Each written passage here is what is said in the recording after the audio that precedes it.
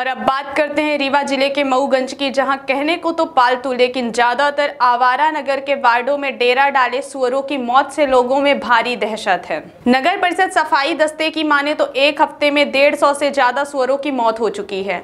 और सैकड़ों सुअर अभी भी इस अज्ञात बीमारी की चपेट में हैं।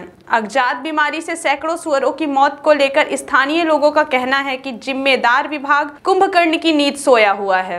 विभाग की तरफ़ से ना तो बीमारी के संबंध में कोई जानकारी दी जाती है और ना ही इस पर कोई आवश्यक कदम उठाए जा रहे हैं।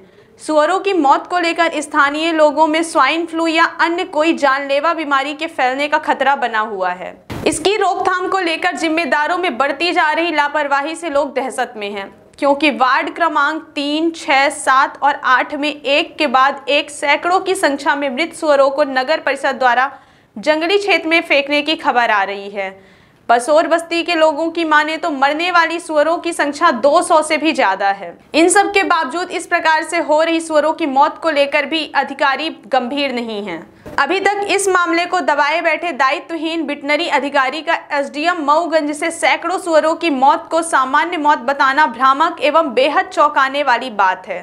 इसकी जाँच होनी चाहिए। तो वहीं नगर परिषद द्वारा इन सुअरों को दफनाने की बजाय जंगल में फेंका जा रहा है। इस पर भी एसडीएम मऊगंज ने नगर परिषद सीएमओ को फटकार लगाई है।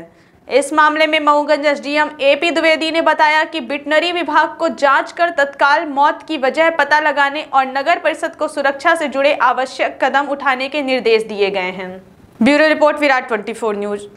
कितनी सुअर मरी? लगभग बस्ती के अंदर? सौ डेढ़ सौ मरी। अरे सौ डेढ़ सौ पाँच सौ कम से कम तीन चार सौ। पाँच हज़ार के लगभग सुअर हम्म, डेढ़ सौ दो सौ।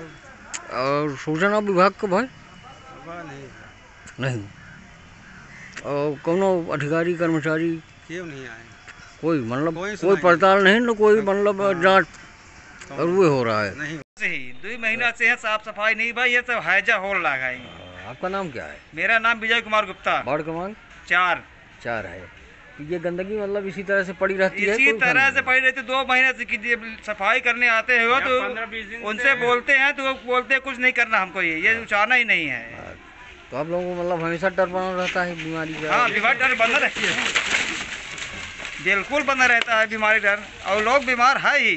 अच्छा है ये। तो आप क्या चाहते हैं प्रशासन से? प्रशासन से यही चाहती है कि गंदगी साफ़ हो। क्या है यहाँ की साफ़ सफ़ाई व्यवस्था? यहाँ पंद्रह बीस दिन से सफ़ाई नहीं हुई है कई बार फ़ोन लगाते हैं हाँ। फिर भी सफ़ाई के लिए कोई आता नहीं है। हाँ बार बार हम जाके वहाँ कई बार बोल चुके हैं नगर पालिका में फिर भी वहाँ से कोई सुनवाई नहीं वहाँ आशा दिया जाता है कि आते हैं भेजते हैं करते हैं कोई भी सुनवाई नहीं है। सफ़ाई तो ना के बराबर। किसी वजह से बीमारियाँ नहीं फैल रही हैं की। बच्चे बीमार हैं। सुअर मरने का मामला सामने आया है काफ़ी तादाद में इस संबंध में हमें भी सोशल मीडिया और इससे जब जानकारी हुई तो स्थानीय तौर पर भी हमने पता किया और साथ में नगर परिषद अभी सीएमओ तो निलंबित है लेकिन उनके प्रभार में है इंजीनियर उनसे जानकारी लिया है। तो बताया कि सबसे ज़्यादा तीस, इकतीस सुअर जो है, इकतीस तारीख को मरे हैं। फिर उसके बाद क्रमशः घटते क्रम में किसी दिन, किसी पाँच, किसी दिन छः इस तरह से मृत्यु हुई है। उनके संबंध में हमने अभी वेटनरी सर्जन जो है साकेत उनको बोला है। कि आप जाकर देखो, पर वो बताए हैं कि एक पीएम किया है जिसमें कोई स्पष्ट रिपोर्ट नहीं मिल पाई है। क्योंकि तो कई दिन की बॉडी थी।